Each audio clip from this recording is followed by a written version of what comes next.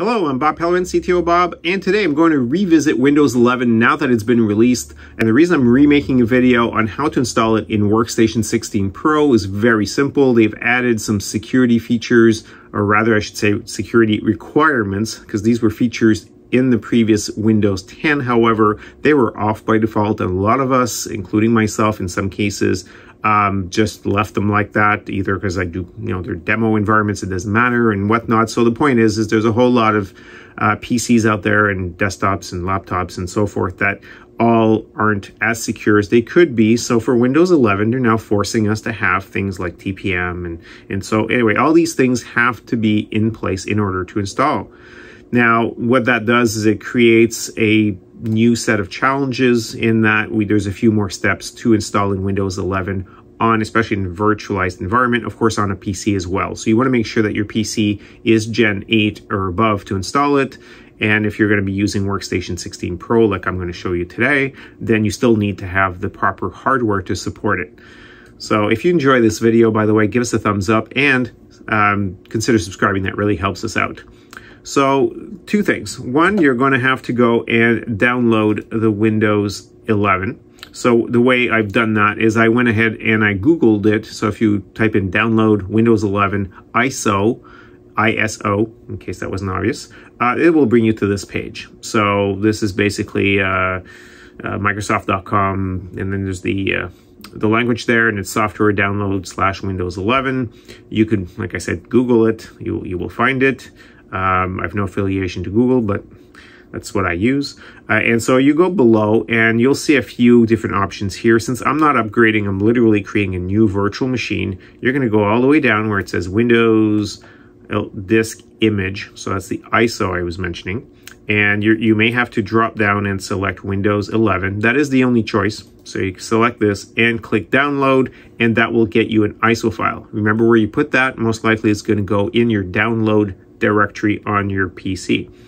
So next, what we're going to want to do is we're going to want to go into here, which is VMware Workstation. This is the 16 Pro. I very strongly urge you, even if you have 16 Pro written right there, make sure you have the latest build, the latest version of 16 Pro. It sounds weird, but there's more than one 16 Pro out there. So make sure you get the latest build from VMware that will uh, help you and minimize errors and strange things. Uh, I even get caught myself sometimes. I, I think a couple weeks ago I was doing something and um, I was getting this error and lo and behold, I ended up talking to somebody who, who I, mean, I should have thought of this myself, but they said, hey, uh, you might be running the last version of the build and not the most recent one. And lo and behold, that actually fixed the problem. And we, we actually thought it was uh, related to a new driver for a new piece of equipment, and it was uh, not that at all. So, all right, instead of rambling on, I'm going to go right into it. So the, it's as easy as clicking on create a new virtual machine. And as soon as you do that, I'm going to select custom here. I'm going to do next. And I've mentioned with some of my other videos the different compatibilities that you can select. Now, if you don't have anywhere else where this VM is going to go, you probably don't care. Use the one for workstation 16 if that's the version you have or if you have future version 17 or whatever use the one on the very top of the list the most recent one is probably the best way to go. If you have an environment where you have multiple servers however then i strongly urge you to consider that as it may save you some steps. If you make a mistake and you select, let's say, ESXi7 and then you realize, oops, my server actually has 6.7, and now it's giving me an error when I try to migrate this virtual machine to that server. Uh, I have a video for that on how to go and change that. It's a little bit manual, but anyway, you can go right into it and change the hardware compatibility level of your virtual machine. But selecting the proper thing now will save you from having to uh, tamper with it and have to do anything in the future. All right, so in my case, um, I'm probably not going to move this since it's, it's more or less just a demo and a trial here. But since I do have a lot of ESXi servers running in both my test environments and in uh, production at clients and so forth, I'm actually going to go and select ESXi 7. I'm going to go say next. I will install the operating system later. So I'm going to leave that like that. Now, because the Windows 11 is very recent, I don't have here in where it says version, I do not have 11. So I'm going to pick Windows 10 64, knowing that I'm actually installing Windows 11. And then what I'm going to do is I'm going to go ahead and just replace this. And I'm going to send it to VM slash Win11 like so. And this I'm going to just change its name to Windows 11. There we go, just to change it like that. And I believe that it should not say 10, that should say 11. Okay, do next.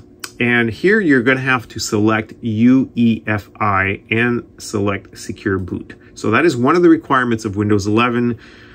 Please put that or else it won't work. And you'll see uh, I actually tried this video. Uh, this is my second run on it. And uh, I goofed and uh, forgot one step and ended up with uh, the problem where it says, oh, sorry, it's not compatible. So you need to have, obviously, uh, a PC that you're running the Workstation Pro on that has enough CPUs to handle whatever you want to put here. So in my case, I have lots of CPUs. So I'm going to give it one processor with eight cores. And I'm going to go next. Now, Windows 11 does require uh, at least, let's say, 8 gigs. So it does need a bit more power than the previous versions. So we're going to leave this to uh, network address translation or NAT for the network card. So all this is very basic. If you were doing Windows 10, you would be doing the exact same thing. And I've got an NVMe in here, so I'm going to leave it like that and create a new disk. I'm going to make sure that it's large enough just uh, so I can play with it later on. I'm going to leave it this. It doesn't matter if it splits it or not for me at this point. This is what it wants to call it. So I'm going to go ahead and click next. And now I'm going to click finished. We're not done yet. So we're going to go back. It's going to appear here. Now we need to do edit. There's a few things. Um, one of the requirements, as I mentioned, was TPM2. Now, if you wanted to add this, you would get a, an error. And let me just show you what it does, because that's the obvious thing you'd want to do is click add and click trusted platform module right here. And it just, it's grayed out. So right there, you've got a problem. You can't, you know, can't click on finish. And what do you do? So you're, what you're going to do to enable this is go to option. You're going to go where it says access control and you're going to encrypt. Now, it's going to ask you for password. You're adding this password. Keep track of it, please. Uh, and don't send me an email asking me what's the default password. It's whatever you put in here. So put something that you will remember. Uh, I mean, look, we all do it. I do a lot of demos and uh, I tend to always change the password every single time I create one. And sometimes I do forget to write them down, especially when they're demo environments. And, then I have to uh, rack my brain or I have to redo it because I just can't remember the password. So I put in a password. I do encrypt. It's going to encrypt it. Now we're not quite done yet. So I'm going to go back to hardware. And now I go back here, click here, click trusted platform, and look at that. Now I can do finish and I could add the trusted platform module. It is now present.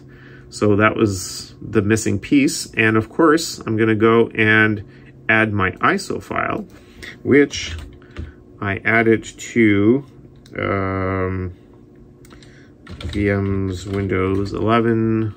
Oops, I keep typing Windows 10. Okay, and if I say browse, oh, actually, this is my ISO. So it's under, I put under downloads. Here we go. And okay, so now I've got my ISO that's going to load. It's going to connect the power on. I've got enough processors, enough memory, and enough disk space. As you remember, I encrypted the VM and I made sure that it's using secure boot. And with the trusted platform module that is present is detected, now I should be able to click OK. And this is where we cross our fingers and press play here. And it should appear, okay, this is very good. Press any key. So far so good. So now I have the Windows logo and yes, it has changed slightly. So this is a, I won't say prettier because I, I think it was prettier the other way, but anyway, so now I'm just gonna go ahead and do a normal installation. It looks very similar to what Windows 10 was. Uh, do next, do install. This is a demo, so I'm not gonna put in a key or anything at this point. I just want to get into it simply just to show you. So I'm gonna put, I don't have, I don't have a product key yet. I'm gonna put Pro. And uh, you can, by the way, go to the Microsoft Store if you need to buy Uh, get, or if you need to buy Windows 11 or if you need a key code there, just the same thing. So I'm going to go ahead and do next. I'm going to do custom install. It sees my drive. I say next. And there we go. Now, it did not complain about the TPM. It did not complain about secure boot. It didn't complain about anything, or else you would not have gotten this far.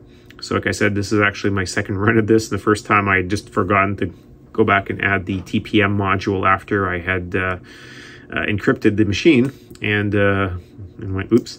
So this is it. Uh, Windows 11, I'm not going to go through the features in this particular video. I just really wanted to show you how you get it into VMware because as you saw, there's a few extra steps there that are not obvious and I got a lot of emails. So I thought it would be uh, uh, you know, way of saving you all time and um, showing you how simple it is. Uh, at some point, you will get a new version of VMware Workstation, whether it's just a new build of the 16 Pro or they release the 17 Pro at some point, and it will include the Windows 11 because that's usually what it does. When you do migrate to new operating system, keep in mind that uh, some applications perhaps go and look at what you're running and they may decide that your applications either aren't compatible to the OS or the point is this do a lot of testing before you migrate too many things to Windows 11 and this is why a lot of us love VMware whether it's workstation or ESXi so that we can put it on there and do some testing. So if you're in a corporate environment this is the way you could you know boot one up uh, put in your ERP system, put in your CRM system, put in whatever it is. If it's not on the cloud, because I'm assuming if it's on the cloud, then there should be uh, you know minimal uh, effect to your environment. But if you've got in-house applications, perhaps that you've coded, or if you have uh, older ERP systems that run with uh, databases and whatnot, well, this is a great way to test those. So as you can tell, right now we're rebooting. It's already installed. So it's going to ask me a bunch of information here, and I really, really don't care at this point for any of this. Uh, I'm just going to say skip. So of course it's the typical, and now it's going to check for updates. I mean, this came out uh, for me anyways last week. By the time you watch this, who knows how long it's been. But we'll, uh, one of the big things with Windows 11 is I understand they'll be doing a major update once a year as opposed to like Windows 10 where it was twice a year. Um, I personally have seen Microsoft cause problems with their updates. I mean, I know they're fixing bugs and I know that they're increasing the security and they're they're, they're really trying to respond to a problem or add features that I get. But I, I have seen a lot of um, blue screens or things, you know, printers that didn't work all of a sudden or whatever it is, uh, you know, cameras that suddenly don't work, don't work anymore. So it, it is a unfortunate uh, in a way that we are continually forced to update in some environments. Uh, I get it for security, though. I, am definitely telling you, you should upgrade. It's just when you get a larger environment, uh, sometimes you do have something that is sensitive. Um, and it's just the way it is. Okay, so I'm just going to do that's name. It's probably going to ask me to create a user and all that stuff. And it's rebooting again. Okay. So it's a lot of reboots. I remember when uh, people at Microsoft uh, used to tell me that in the future we wouldn't have to reboot. I guess uh, they forgot about that or changed their minds. And by the way, there's a lot more steps in the final version than the original version because I don't, uh, I didn't see any of these screens. The first, I shouldn't say that. I, I saw some of these screens, but uh, I don't remember it being this long and Okay, so yeah, so basically I could say it's for personal use. And then I most likely, yes, they absolutely want you to have, let's see, I want, I'm actually going to create just an offline account for this one. And type in Bob. And type in a super secret password.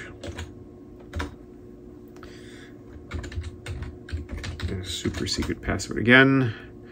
And now it wants me to answer a bunch of questions. Okay, well, you know what? I'm not even going to... Um, uh, I'm going to disappoint some of you because I'm literally just going to type in YouTube everywhere, which you can do, by the way, if anybody out there is trying to get a test environment up and quickly, that's the way to do it. Now do keep in mind that uh, obviously that's not very secure when you do it that way. So I'm gonna go ahead and disable the diagnostic data uh, or disable is a big word. I'm just reducing the amount that it is sending and I'm going to take all these features off and it's going to check for updates and then hopefully we're in so here we are finally we're in our windows 11 and um, so like i said you know if you go to settings you can you can go and select things and you can always search. So if i want to search for wi-fi or display uh, you know it's written here but the point is i can modify that. And of course um, at this point what i could do in vmware is well, this is not, uh, yeah, so obviously I, I would probably want, and of course you can still right click and still go, let's say to display settings, and then I could change my resolution and keep change. So, I mean, still not big enough for what I'm doing, but anyway, the point is, is you can keep, uh, that really doesn't matter. Anyway, we're not going to sit here and play with that. Whew. Okay, well, that one's, that one's definitely no-no. Okay, so instead of doing that, but anyway, this is basically what it looks like. So you get your start button here and it's a little different. And again, if you want to shut it down, instead of going up to your name, you know, like it was before, you got to go on the bottom here and you could say sign out and you can click here and you could say, uh, you know, restart, shut down. So it's a little different. I mean, if you're, I guess depends on whether uh, you get used to things or not. I'm not sure. I haven't installed anything. And this is the ISO I got from Microsoft. So I'm a little surprised to see Adobe uh, Lightroom there. I'm not sure, or WhatsApp, or anyways, a few things that seem to be on there already. So, well, there you have it. So you have Windows 11 set up. Go ahead and adjust the, uh, the screen resolution to your liking and so forth. And that's it. Oh, I just noticed that the bottom of the screen here was uh, not even there when I was uh, clicking. Interesting. Okay, well, I apologize for that. So anyway, the Windows 11 is up and running, so we can go ahead and uh, test stuff out. And of course, we'll be able to connect it to the network and so forth. Make sure to go off and purchase the Windows 11 if you do keep this. Um, again, this one's a demo, but the whole point is, is if it's useful uh, and it is in use legally, you're supposed to purchase it. So please go ahead and do that. Of course, you will get a little warning at some point uh, letting you know that you need to activate it. So please do so. So thanks for watching. Again, I'm Bob Pellerin. Leave some comments below. We do read those and appreciate your comments. You can always visit us as well at ctobob.com and we'll see you in the next video.